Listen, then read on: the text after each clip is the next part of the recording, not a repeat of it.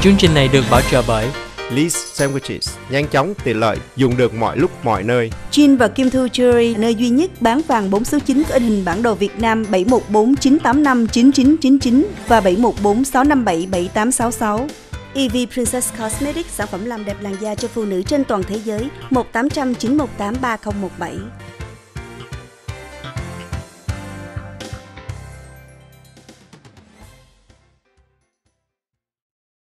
Kính thưa quý vị, sáng nay chúng ta bắt đầu một ngày mới. Bên cạnh đó chúng ta nhìn về biên giới của Mexico và Hoa Kỳ. 2.000 trẻ em đang sống cách ly với gia đình của họ. Và sáng nay thì chúng ta nhận được trên cái, cái trang tweet của Tổng thống Donald Trump, ông đã đưa ra một cái lời bình luận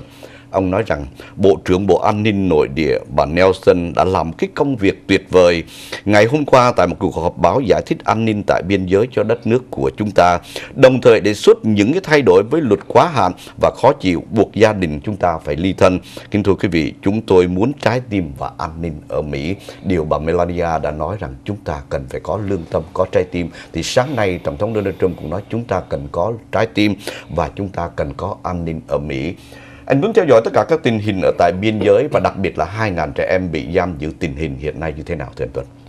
Kính thưa quý vị, ngay hiện tại bây giờ thì cái tình trạng gọi là à, giam giữ và cũng giống như phân ly các gia đình, phân ly cha mẹ và các em luôn được coi là một trong những cái mối hàng đầu chính mà ừ, người ta nói rằng ông Tổng thống Donald Trump đang dùng cái con bài về chính trị đang đặt cược cả một nhiệm kỳ chính trị của ông về cái tình trạng di trú và về cái sự kiện này thưa quý vị. Bởi vì theo như những bài tin tức thì họ nói rằng cái sự kiện này là một sự kiện rất lớn. Nó không chỉ ảnh hưởng tới con đường chính trị mà nó ảnh hưởng tới cái cuộc sống của những người cho dù đó là người di dân lậu thưa quý vị.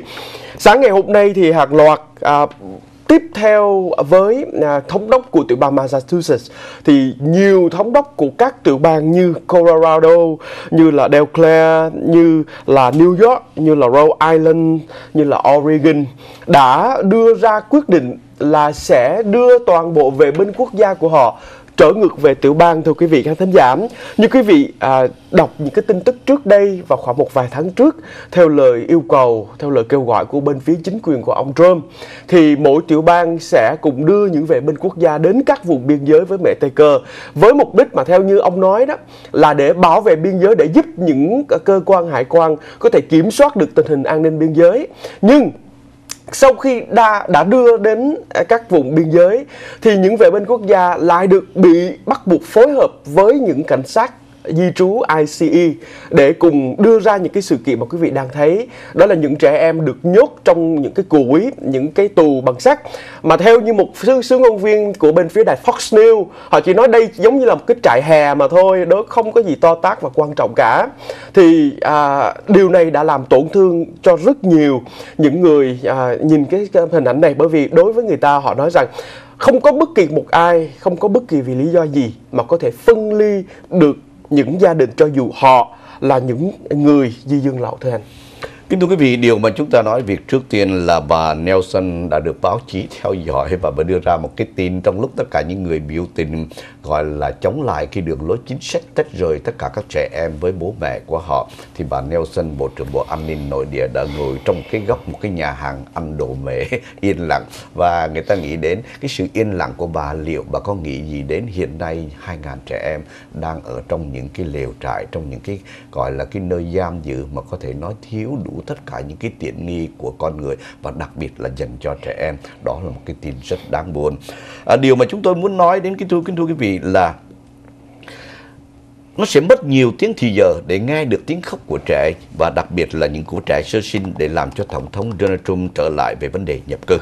Một trong những vấn đề có thể nói đã hoạt hình tình hình chính trị hăng hái nhất của ông kể từ khi đầu tiên ông bước vào Nhà Trắng là dĩ nhiên cái cuộc khủng hoảng đối với trẻ em bị chấn thương tách khỏi cha mẹ sau khi băng qua biên giới phía Nam bất hợp pháp chỉ sâu hơn sau khi Tổng thống Donald Trump từ chối lời cầu xin chia rẽ số phận của họ từ những nỗ lực của mình để thúc đẩy chính sách an ninh biên giới và visa của mình cho luật pháp Hoa Kỳ. Là dĩ nhiên tất cả mọi người 300 triệu dân Hoa Kỳ đều đồng ý Hoa Kỳ cần phải có một cái luật lệ nghiêm ngặt và bảo đảm cho cái sự an toàn biên giới của quốc gia Hoa Kỳ. Nhưng bên cạnh đó, chúng ta cũng nhìn lại tượng nữ thần tự do. Chắc quý vị có điều kiện đến New York thì quý vị thấy tượng hình tự do với cái ngọn đèn cháy sáng 24 trên 24 và đó là cái biểu tượng của sự tự do của tất cả những người ở khắp năm châu đến định cư và nhận quê xứ sở này làm quê hương thứ hai của họ. Trong đó có hàng triệu người Việt của chúng ta. Kính thưa quý vị, đến ngày hôm nay cái giấc mơ đó vẫn đến với tất cả mọi người trên thế giới. Không riêng gì những người mỹ Tây Cơ, không riêng gì những người đến từ Guatemala,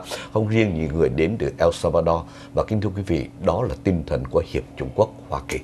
Nhưng có một điều chúng ta cũng cần phải bảo vệ an ninh của chúng ta. Nhưng bên cạnh đó, chúng ta bảo vệ an ninh, điều đó không có nghĩa là chúng ta tách rời các trẻ 2.000 trẻ em sống một cái đời sống không có tình yêu thương chăm sóc của bố mẹ. Và đây là một trong những sự kiện Tổng thống Donald Trump có thể nói gặp nhiều rắc rối với tất cả các vị dân biểu, các vị dân cử đến từ phía đảng Cộng Hòa cũng giống như là đến từ đảng Dân Chủ. Nếu quý vị vừa nghe anh Tuấn trình bày thì quý vị thấy lực lượng vệ binh quốc gia họ đến để họ để bảo vệ biên giới chứ không đến để bảo vệ tất cả những sự giam giữ những trẻ em mà hiện nay bị tách rời gia đình. Và đó là lý do tất cả các vị thống đốc từ đất khởi đi, từ tiểu bang Massachusetts cho đến Oregon, cho đến Virginia, đến cho Connecticut, họ đã rút lui tất cả các vệ binh quốc gia. Điều này cho thấy cả một cái sự kiện. Nhưng có một cái điều quan trọng nhất, chúng ta tự hào là một cái quốc gia đã có thể nói chi phí và có thể nói chúng ta quan tâm đến vấn đề nhân đạo, vấn đề nhân quyền của con người. Thế những trẻ em có có nhân quyền không, thưa anh Tuấn? Chắc chắn là có thưa anh và cũng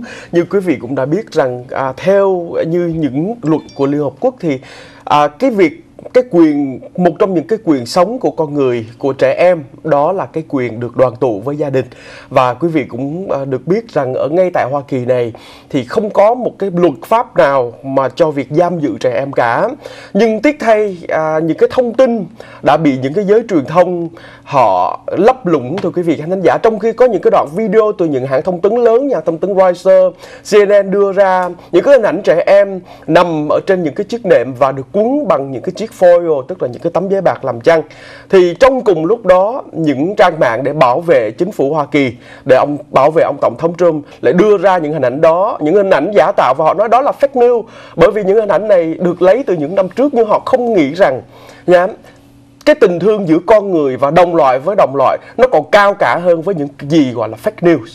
là dĩ nhiên chúng ta ghi nhận tất cả những sự kiện đến từ biên giới của Mỹ, Taker và Hoa Kỳ và trong lúc đó thì chúng ta không thể nào không nhìn thấy những hình ảnh của 2.000 trẻ em hiện nay đang bị tách ly với gia đình của họ. Chúng ta hy vọng chính phủ Hoa Kỳ và được dẫn dắt bởi Tổng thống Donald Trump, một trong những người gần đây đã có những cái tỷ số tín nhiệm cao hơn lúc trước. Hy vọng ông đưa ra một cái đường lối và để làm cho người dân Hoa Kỳ không đau lòng khi thấy ngay tại quốc gia của mình vẫn còn có một cái chế độ chính sách giam giữ và tách rời những trẻ em cần được sự bảo vệ của cha mẹ của các em em. Quý vị đang cùng với chúng tôi qua cà phê sáng và chúng tôi trở lại với quý vị trong giây lát.